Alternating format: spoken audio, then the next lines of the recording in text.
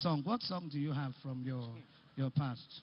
Uh, well, um, practically all the Ogun State songs I know are Obey songs because I was um, born Gary and and fed with the music of. Do you know how to make garri?